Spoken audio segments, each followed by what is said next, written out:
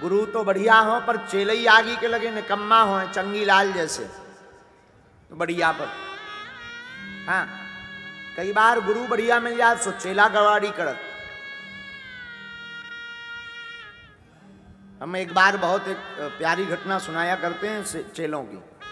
हमारे चंगीलाल और चंगीलाल के गुरु टिल्लू गुरु। दोनों समुद्र किनारे घूम रहे थे।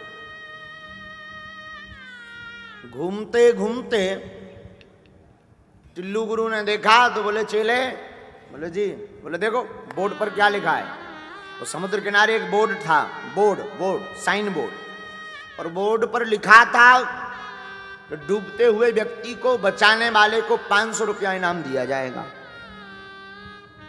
तो टिल्लू गुरु ने कहा, बढ़िया मौका है, तुम एक काम करो, हम डूबते हैं, तुम हमें बचाओ, चेले।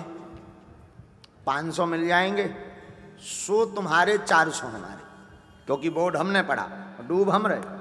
तो चार सौ हमारे, सौ तुम्हारे। चंगीलाल बोला, हम तैयार हैं। चंगीलाल हो गया तैयार। अब गुरुजी बोले, जाऊँ? चंगीलाल बोला, और भीतर जाओ। हम निकाल लाएँगे। गुरुजी बोले, अब तो ठीक है, और भीतर जाओ। हम निकाल लाएँगे। अब गुरु सच में डूबने लगे।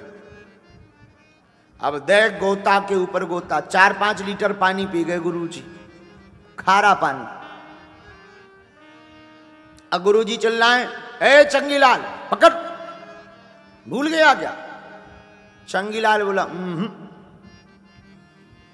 गुरु जी बोले, तेरा दिमाग खराब है क्या? हमें डुबाने को भेज दिया अब तू ऊहू कर रहा है। आ जल्दी से। दो सौ ले लेना। चंगीलाल बोला. गुरुजी ने सोचा भाड़ में गया पैसा तो फिर कमा लेंगे, इससे अभी प्राण बचवाओ। अरे, तीन सौ ले लेना। आ। चंगीलाल फिर बोला "हम्म." अब तो माथा ठनक गया गुरुजी का। अरे, चार सौ ले लेना। आ तो बचा। देख, चार पाँच लीटर पानी पी। और फिर डुब पुड़ गए। और चंगीलाल ने देखा कि फिर ऊपर आए तो फिर बोला "हम्म." तो दिमाग खराब हो गया गुरुजी का। गुरुजी बोले, मेरे भैया, पाँचों सौ ले लेना तू। प्राण बचा दे मेरे। चंगीलाल फिर बोला। अब गुरुजी का दिमाग खराब, बोले, भैया, पाँच सौ मुझसे एक्स्ट्रा ले लेना। पर मेरे प्राण बचा दे। चंगीलाल बोला। गुरुजी बोले, लफड़ा तो बता, तू मना क्यों कर रहा? बोले, बगल वाला बोर्ड पढ़ो।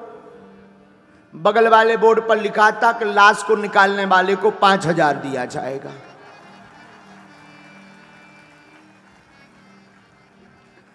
गुरु जी ने जब ज़ोर से पढ़ा, बोले, खराब हो गई किस्मत। अपने गुरु के ही तेरहवीं करवाएगा।